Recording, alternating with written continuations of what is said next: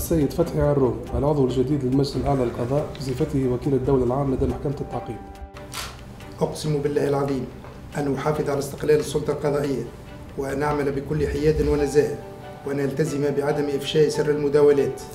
أهلا وسهلا تفضل هنيوك تسمية هذه في الحقيقة قرار من زملائي وإن شاء الله على كل حال يعني نشوف فيكم كان خير ونحن هنا وظيفتنا باش نعاونوا القضاء على المحافظة على استقلاليته ولكن على القيام بواجبه الاستقلالية مش فقط بالنسبة للدولة أو للسلطة بل بالنسبة لأصحاب المصالح. بارك الله فيك. بارك الله فيك. شكرا.